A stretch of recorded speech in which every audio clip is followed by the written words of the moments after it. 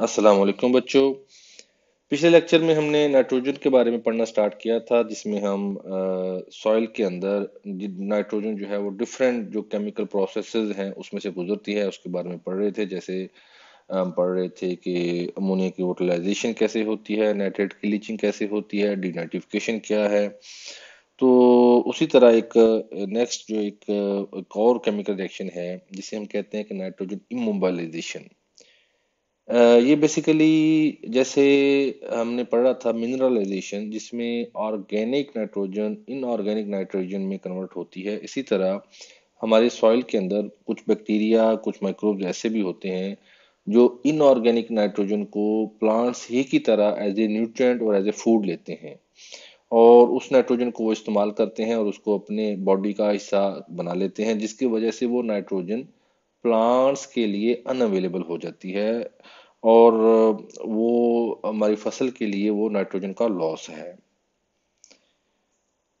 ये तो अब हम पढ़ रहे थे कि नाइट्रोजन के लॉसेज या जो नाइट्रोजन की रिमूवल है हमारी सॉइल से वो कैसे होती है। कुछ केमिकल रिएक्शन ऐसे भी हैं जो नेचुरल हैं, वो हमारी ज़मीन में नाइट्रोजन को ऐड भी करते हैं। उनमें एक सबसे जो सर फहरिस्त है, वो है बायोलॉजिकल नाइट्रोजन फिक्सेशन दो तरह की होती है सिम्बायोटिक और नॉन सिम्बायोटिक सिम्बायोटिक में राइजोबिया जो बैक्टीरिया की फैमिली है, उसके जो स्टेन्स हैं, वो लिग्यूमिनस प्लांट्स के साथ एसोसिएशन कायम करते हैं रूट्स में नड्यूल्स बनते हैं और वो जो माइक्रोब्स हैं, फिर हवा से नाइट्रोजन लेके उसको वो रिड्यूस करते हैं और वो प्लांट्स को भी देते हैं और वो खुद भी इस्तेमाल करते हैं। तो उस, इन ऐसी फ़सलें जो लग्यूम फैमिली से हों, वहाँ पे अक्सर हमें नाइट्रोजन की खाद इस्तेमाल नहीं करनी पड़ती क्योंकि वो प्लांट्स जो हैं, वो खुद ही अपनी जो नाइट्रोजन की ज़रूरत है उसको पूरा कर लेते हैं।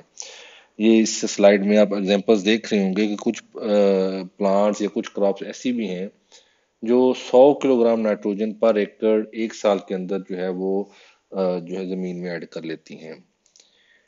सिम्बायोटिक के थोड़ा सा डिफरेंट कुछ माइक्रोब्स ऐसे भी हैं जो किसी प्लांट के साथ सिम्बायोटिक रिलेशनशिप तो नहीं कायम करते, लेकिन वो इंडिपेंडेंटली हवा से नाइट्रोजन को लेते हैं और उसको वो फिक्स करते हैं और ज़मीन में भी ऐड करते हैं और ख़ुद भी उसको इस्तेमाल करते हैं। बायोलॉजिकल फिक्सेशन के अलावा एक दो केमिकल प्रोसेस और भी हैं जिसके ज़रिए नाइट्रोजन ज़मीन में ऐड होती है, जैसे एटमॉस्फेरिक फिक्सेशन एटमॉस्फेरिक फिक्सेशन में जब हवा में आसमानों में लाइटनिंग का प्रोसेस होता है, बिजली चमकती है तो जो मालिकुलर नाइट्रोजन हवा में है, अठहत्तर परसेंट वो ब्रेक डाउन होती है और पानी के साथ मिलके अमोनिया की फॉर्म में वो हमारी ज़मीन में ऐड होती है। लेकिन ये इतनी मकदार नहीं है कि जो हमारी मॉडर्न क्रॉप्स हैं, उनकी जो ज़रूरत है, उसको वो पूरा कर सकें।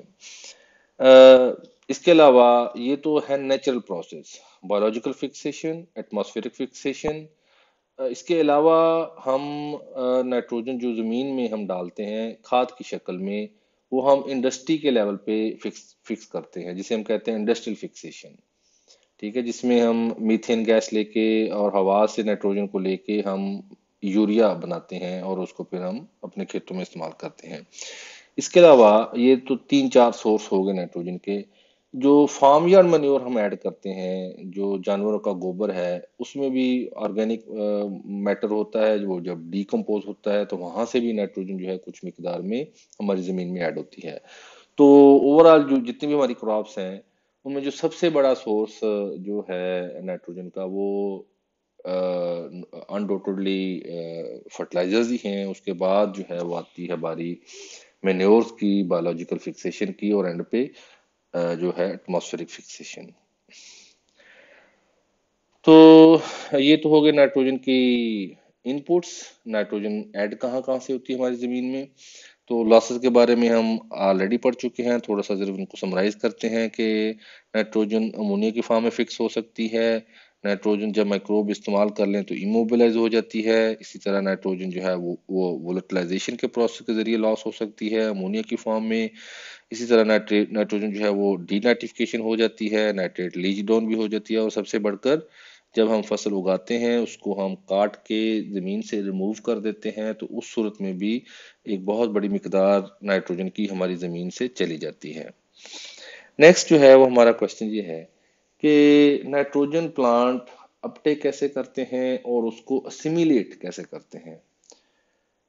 नाइट्रोजन जो है प्लांट्स की जो जड़ें हैं, वो दो इनऑर्गेनिक फॉर्म्स में लेती हैं नाइट्रेट की फॉर्म में और अमोनियम की फॉर्म में। प्लांट्स अमोनियम भी अब्जॉर्ब कर लेते हैं और नाइट्रेट भी अपटेक कर लेते हैं। अब यहाँ पे क्वेश्चन ये है कि प्लांट्स प्रेफर किसको करेंगे? क्या नाइट्रेट को प्रेफर करेंगे या अमोनियम को प्रेफर करेंगे? या क्वेश्चन दूसरी तरह भी पूछा जा सकता है कि हमें कौन सी फर्टिलाइज़र यूज़ करनी चाहिए? अमोनियम यूज़ करनी चाहिए, अमोनियम बेस्ड फर्टिलाइजर्स या हमें नाइट्रेट बेस्ड फर्टिलाइज़र जैसे यूरिया अमोनियम बेस्ड है calcium nitrate magnesium nitrate ammonium nitrate में दोनों हैं। मतलब कुछ फर्टिलाइज़र ऐसी हैं जो नाइट्रेट बेस्ड हैं, कुछ फर्टिलाइज़र अमोनियम बेस्ड हैं। तो यहाँ पे क्वेश्चन ये है कि प्लांट्स कौन सी अपटेक करते हैं और हमें कौन सा फर्टिलाइज़र यूज़ करना चाहिए? तो अगर आप अपना हमारा जो मिड का कोर्स है, उसको ज़रा थोड़ा सा रिकॉल करें तो हमने उसमें पढ़ा था कि जो कैटाइंस हैं, वो आइंस जिस पे पॉजिटिव चार्ज है, उनको अपटेक करना प्लांट्स के लिए इंतहाई आसान है और उसमें कोई एनर्जी नहीं लगती क्योंकि उनकी अपटेक जो है वो पैसिव अपटेक है।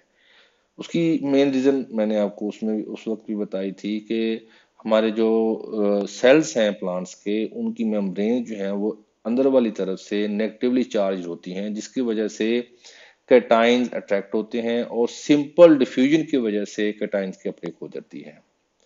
ठीक है, जबकि जो एनाइंस हैं, जैसे नाइट्रेट है, जिसमें नेगेटिव चार्ज है क्योंकि मेम्ब्रेन अंदर की तरफ़ से नेगेटिवली चार्ज है तो उनको अपटेक करना मुश्किल प्रोसेस है और एनाइंस की अपटेक जो है वो एक अप हिल प्रोसेस है, यानी कि एनर्जी रिक्वायरिंग प्रोसेस है। तो नाइट्रेट की अपटेक जब भी प्लांट ने करनी है तो प्लांट को एनर्जी कंज्यूम करनी पड़ेगी, जबकि अमोनियम की अपटेक जो है वो इजी है, वो पैसिव डिफ्यूजन के ज़रिए आ जाती है। तो एक रीजन तो ये है कि क्योंकि अमोनियम की अपटेक पैसिव होती है और नाइट्रेट की एनर्जी डिमांडिंग होती है तो डेफिनेटली प्लांट्स जो है वो प्रेफर करते हैं कि वो अमोनियम बेस्ड जो नाइट्रोजन है, उसको ऑब्जॉर्ब करें। दूसरा जो है इसमें हम देखते हैं कि जब प्लांट अपटेक कर लेता है अमोनियम को तो अमोनियम क्योंकि डायरेक्ट अमाइनो एसिड में एसिमिलेट हो सकता है तो प्लांट इसलिए भी प्रेफर करता है जबकि नाइट्रेट जब भी प्लांट अब्जॉर्ब करता है, इस मिसाल में आप देखेंगे तो पहले नाइट्रेट जो है वो रिड्यूस होता है और अमोनियम बनता है। और फिर वो अमाइनो एसिड में जाके कन्वर्ट होता है। तो यहाँ पे दो रीजंस होगी। एक तो अपटेक और दूसरी असिमिलेशन कि अमोनियम की अपटेक भी प्लांट के लिए फेवरेबल है और अमोनियम की असिमिलेशन भी फेवरेबल है। दोनों सूरतों में एनर्जी नहीं लगती या एनर्जी कम लगती है। जबकि नाइट्रेट की अपटेक जो है, वो भी एनर्जी डिमांडिंग है और नाइट्रेट की फिर अमोनियम के में कन्वर्जन उसमें भी प्लांट की एनर्जी लगती है। तो इसलिए प्लांट्स जो हैं, वो मोस्ट प्रेफरेबली अगर ज़मीन के अंदर अमोनियम आयन अवेलेबल हो तो वो अमोनियम को अपटेक करना प्रेफर करते हैं। लेकिन क्योंकि बहुत सारी हमारी जो ज़मीनें हैं, वो अल्कलाइन हैं, और और ज़मीन के अंदर ऐसे बैक्टीरिया पाए जाते हैं जो नाइट्रीफाइंग या नाइट्रिफिकेशन बैक्टीरिया होते हैं उन, वो जब भी हम यूरिया ऐड करते हैं तो यूरिया डिजॉल्व होती है, बहुत थोड़ी यूरिया अमोनियम की फॉर्म में प्लांट अपटेक करता है, बाकी की जो यूरिया है जो अमोनियम है, वो जो नाइट्रीफाइंग बैक्टीरिया है, वो उसको नाइट्रेट में ही कन्वर्ट कर देते हैं, ठीक है? अगरचे प्लांट प्रेफर करते हैं अमोनियम को ऑब्जॉर्व करना, लेकिन क्योंकि ज़मीन में अमोनियम का स्टे बहुत शार्ट होता है और ज़्यादातर अमोनियम नाइट्रेट में कन्वर्ट हो जाती है तो इसलिए प्लांट को आ, कह लें कि अपनी डिज़ायर के अगेंस्ट नाइट्रेट को ही फिर अब्जॉर्ब करना पड़ता है। अच्छा जी नेक्स्ट जो टॉपिक है कि क्या नाइट्रोजन की जो डिमांड है जब नाइट्रोजन अच्छी तरह अवेलेबल है तो प्लांट ऑब्जॉर्व करता रहता है लेकिन अगर नाइट्रोजन की कमी हो जाए तो उसके जो सिम्टम्स हैं पहले वो उसके ओल्डर लीव्स में आते हैं। अब जब भी नाइट्रोजन की कमी होगी, एक तो ओवरऑल फ़सल पीली रंग की हो जाएगी।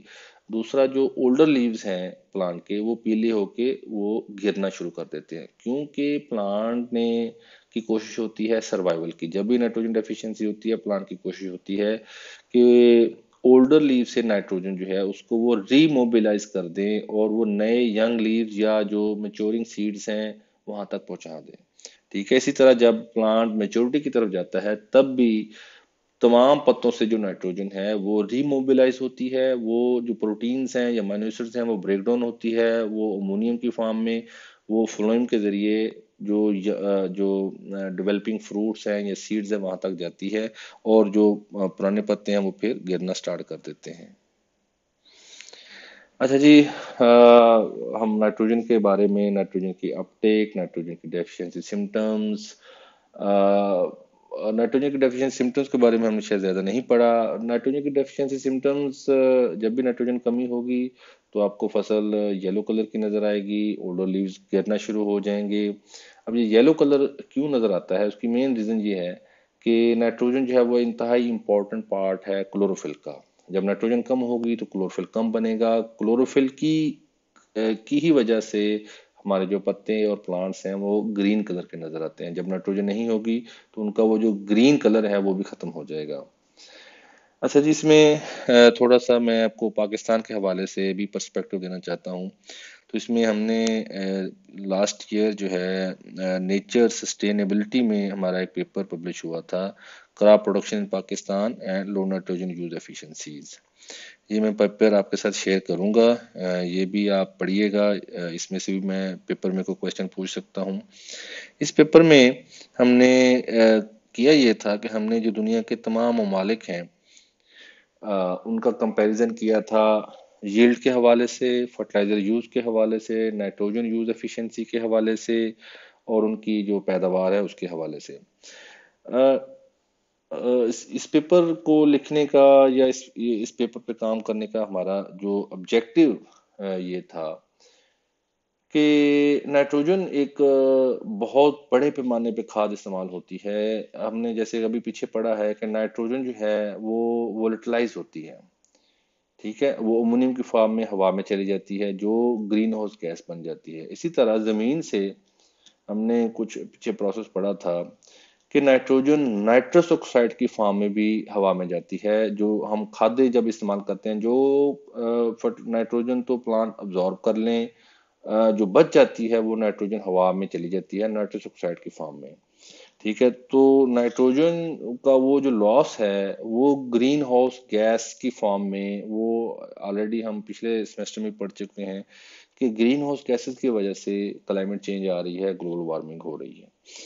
तो उसमें बहुत सारी स्टडीज़ पहले भी आई थी कि जो खाद हम इस्तेमाल करते हैं, उसका बहुत बड़ा हिस्सा वेस्ट हो जाता है। सिर्फ़ थोड़ा सा एक हिस्सा है जो प्लांट ऑब्जॉर्व करते हैं। बाकी नाइट्रोजन क्योंकि रेक्टो बहुत ज़्यादा है, इसलिए वो वेस्ट हो जाती है। या नाइट्रेट लीच नाइट्रेट की फॉर्म में लीच डाउन हो जाती है, या वो नाइट्रस ऑक्साइड या अमोनी की फॉर्म में हवा में चली जाती है। दोनों सूत्र में नुकसान होता है।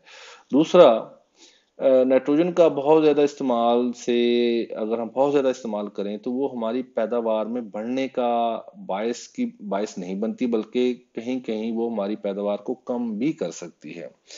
तो हमने ये सोचा कि क्यों ना कि हम पाकिस्तान के हवाले से देखें कि हम जो हाँ यहाँ फ़सलें उगाते हैं तो हमारा नाइट्रोजन का इस्तेमाल कैसा है? कितनी हम इस्तेमाल करते हैं पर हेक्टेयर? और कितनी हमारी जो नाइट्रोजन इस्तेमाल होती है और कितनी नाइट्रोजन जो है वो हमारी वेस्ट होती है?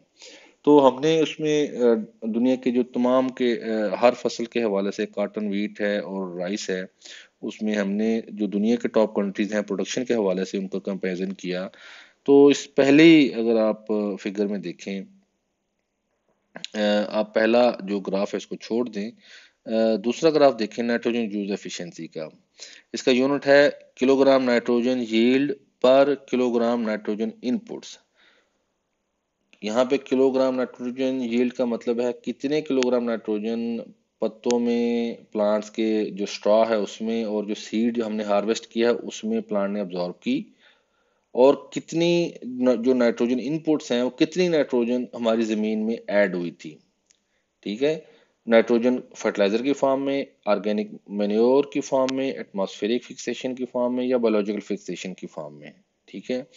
तो उस, उनकी जो रेशियो है, वो nitrogen use efficiency for example ये आपको ग्राफ में जो वन नज़र आ रहा है, इसका मतलब है कि अगर आप 100 किलोग्राम ज़मीन में ऐड कर रहे हैं तो 100 किलोग्राम ही प्लांट ने अब्जॉर्ब कर ली और हमने उसको हार्वेस्ट कर लिया। तो ये तो एफिशिएंसी होगी 100 परसेंट लेकिन एक से कम का मतलब है फॉर एग्ज़ाम्पल अगर ज़ीरो पॉइंट एट वैल्यू है नाइट्रोजन यूज़ एफिशिएंसी की, उसका मतलब है कि सौ किलोग्राम हमने यूज़ की, अस्सी किलोग्राम प्लांट ने एब्जॉर्ब की, जबकि बीस किलोग्राम जो है वो या तो ज़मीन में ही है या वहाँ से वो वेस्ट हो गई है, वो उसका लॉस हो गया है।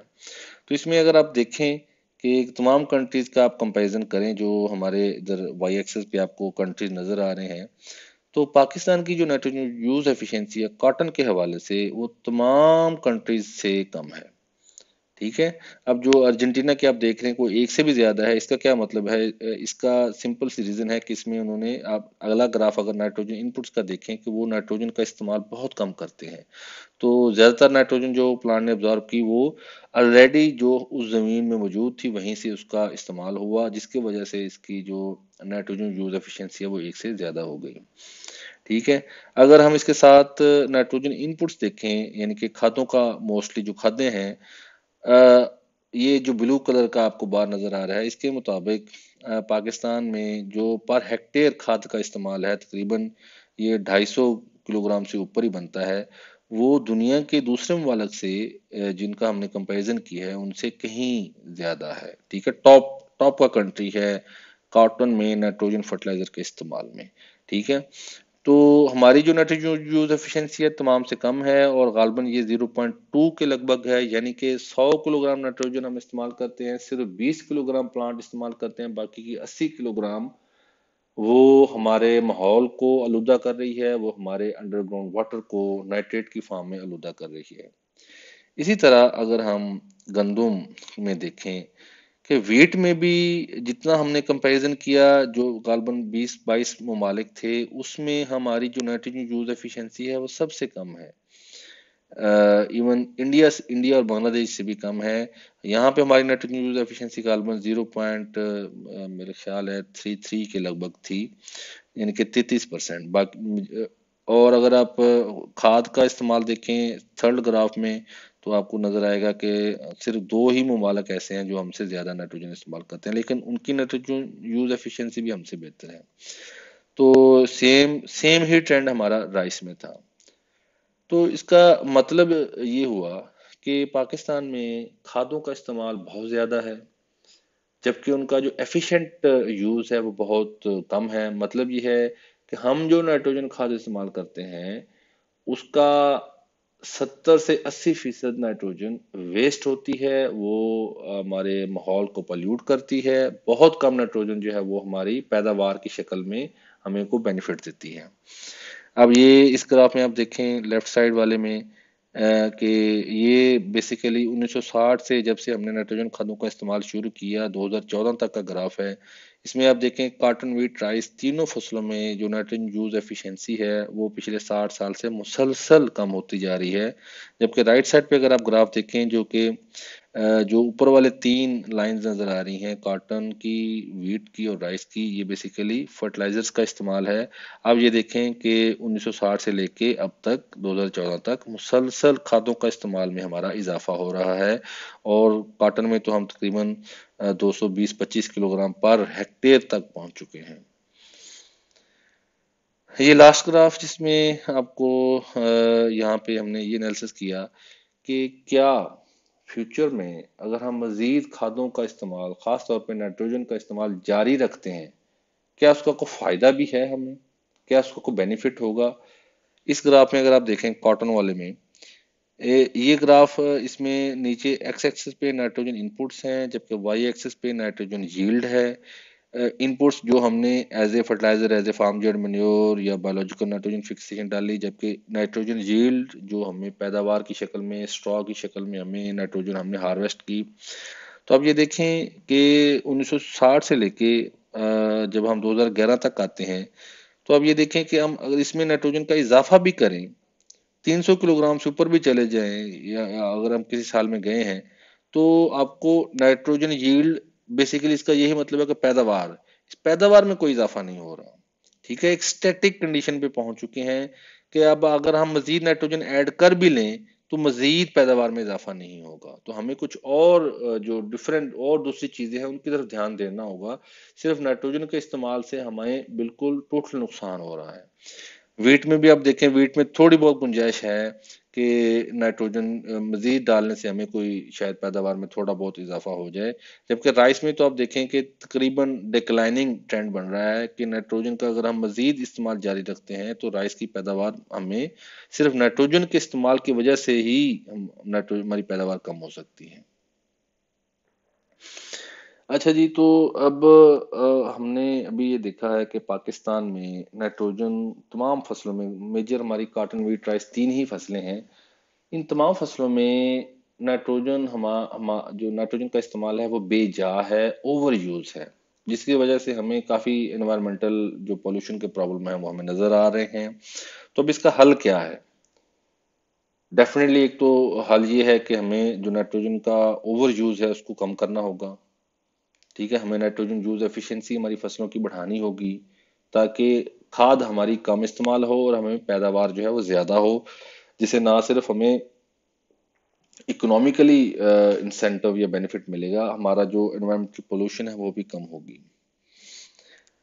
उसमें एक तो तरीका ये है कि जैसे हम इंटरक्रॉपिंग करें कि हमारी जो आम, जो नॉन सिम्बोटिक फ़सलें हैं, यानी कि नॉन लेग्यूमिनस प्लांट्स हैं, जैसे मेज है राइस है वीट है, जो अपनी नाइट्रोजन खुद फिक्स नहीं करते, उनकी, उनके साथ हम जो लेग्यूम प्लांट्स हैं, उनकी इंटरक्रॉपिंग करें। दोनों फिर एक दूसरे को कह लें कि बेनिफिट दे सकती हैं। दूसरा हम जो नाइट्रोजन को मॉनिटर करें। कि क्या हमारी फ़सल को नाइट्रोजन की खाद की ज़रूरत है? उसके लिए हम एनालिसिस करें अपने प्लांट्स का या डिफरेंट किस्म के क्लोरोफिल मीटर मिलते हैं। क्योंकि हमें, मैंने अभी आपको बताया कि क्लोरोफिल की मकदार डायरेक्ट इंडिकेटर है कि प्लांट की नाइट्रोजन का न्यूट्रिशन कैसी है, ठीक है? अगर नाइट्रोजन की न्यूट्रिशन अच्छी है तो पौधे डार्क ग्रीन कलर के होंगे। अगर नाइट्रोजन कम है तो वो आहिस्ता आहिस्ता जो है, कह लें कि कम ग्रीन लेस ग्रीन से येलो की तरफ़ जो है वो जाना शुरू हो जाते हैं। इसी तरह कुछ फर्टिलाइजर्स ऐसी बन रही हैं जो स्लो रिलीज़ फर्टिलाइजर्स हैं। जो हम यूरिया इस्तेमाल करते हैं, वो स्लो रिलीज़ नहीं है, वो फौरी तौर पर डिजॉल्व हो जाती है। थोड़ी सी गर्मी लगे तो वो यूरिया डिजॉल्व हो जाती है। क्योंकि नाइट्रोजन बहुत रिएक्टिव है तो वो फौरी तौर पे या तो अगर प्लांट ने जितनी इस्तेमाल कर ली कर ली, बाकी की वो हवा में उड़ जाएगी या नाइट्रेट बन के वो ज़मीन में लीच डाउन हो जाएगी। इसीलिए हम नाइट्रोजन को जब भी खाद डालते हैं, यूरिया डालते हैं, कोशिश करते हैं कि या तो खड़े पानी में फेंकें, यूरिया का छटा देते हैं, या हम कोशिश करते हैं कि नाइट्रोजन डालने के फौरी बाद पानी लगा देते हैं। ना लगाएँ तो वो नाइट्रोजन उड़ जाएगी। ठीक है? तो अब ऐसी फर्टिलाइज़र बनाने की कोशिश की जा रही है कि जिसमें जो स्लो रिलीज़ हो। लेकिन हमने खाद डाली ज़मीन में, बजाय हम स्प्लिट में डालें, वो एक ही दफ़ा डाल दें, लेकिन वो वहाँ से जिस भी केमिकल में हो, वो आहिस्ता आहिस्ता रिलीज़ हो, जैसे जैसे प्लांट बड़े हों, वैसे वैसे रिलीज़ हो, ताकि प्लांट की कमी भी पूरी होती रहे और एक्स्ट्रा नाइट्रोजन हमारी जो वेस्ट होती थी, वो हम हम बचा लें। ठीक है? इसके अलावा जो है, कुछ और भी तरीके हैं जिसमें एक तो ये है कि हम जो डी नाइट्रीफाइंग बैक्टीरिया है, उनका इस्तेमाल करें।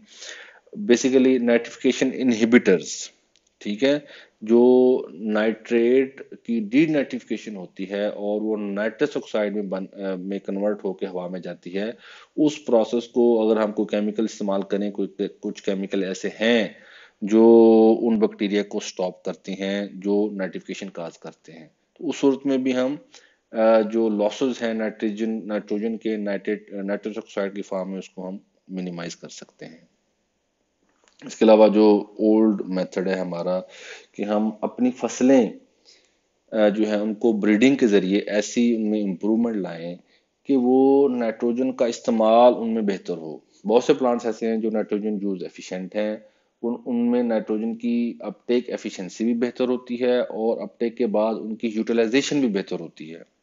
तो हम प्लांट ब्रीडिंग के ज़रिए अपनी फ़सलों को ऐसे इम्प्रूव कर सकते हैं, जिसके ज़रिए हम जो प्लांट अपने हैं, उनको नाइट्रोजन यूज़ एफिशिएंट बना सकते हैं। तो आज तक हमारा इतना ही काफ़ी है। तो अस्सलाम वालेकुम